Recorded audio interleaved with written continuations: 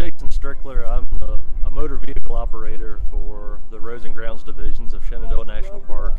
Um, today we're up here chipping brush and clearing back the roadway, um, the road, as well as the road shoulders to the, each of the tree lines, um, removing hazard trees, down trees, uh, pretty much everything that we can handle. It's myself, the other park personnel, and then we do have a lot of volunteers that are helping.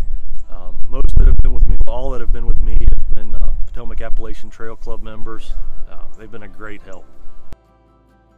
Hi, it's Jim Fettig. I'm the president of the Potomac Appalachian Trail Club.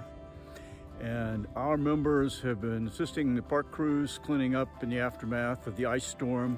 We've had dozens of members contributing hundreds of hours of volunteer time uh, as we work through the uh, cleaning, clean up Skyline Drive.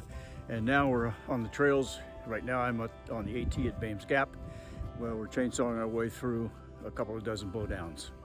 It's been a great time. We're glad to do it. Bye.